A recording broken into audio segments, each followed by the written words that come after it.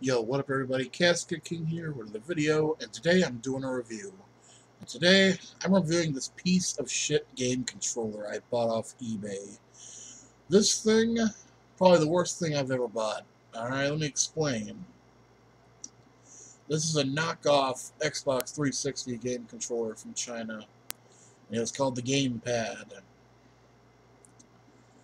It did not work with Steam, it did not work with my computer, Half the time my computer wouldn't even recognize I was plugged in, and the disk that came with it, uh, full of programs and shit, gave my computer a virus, and it was all in Chinese, and it was nearly impossible to fucking remove. This thing is a piece of shit. Do not buy. It is not worth your money. You're better off saving up for a fucking real one from Microsoft, which is what I ended up doing. Here you go. It's a piece of shit.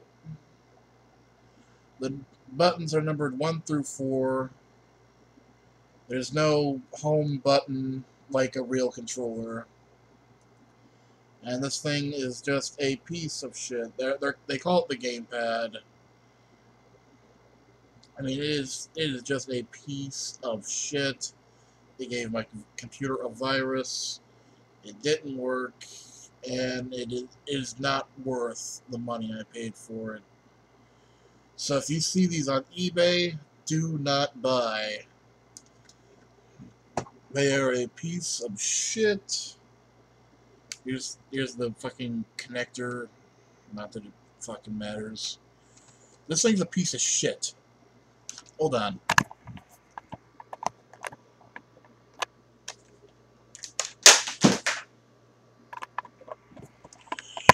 So fuck that controller. Fuck it all the way to hell. That thing's a piece of shit.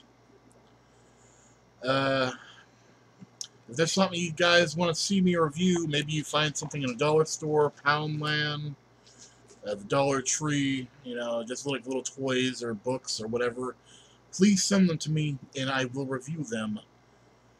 Probably. There's like a 99% chance I'll review something that you send me. Also, if you do send me something, please put in your name so I can give you a shout out. And uh, you'll find my fan mail address on my website, which is linked down below, where you'll find my Twitter, my Facebook, my YouTube, all that other shit. As I've also recently started linking my Steam account, so please check that out if you like. Uh, but I will see you guys next video, and keep being fucking awesome. Bye.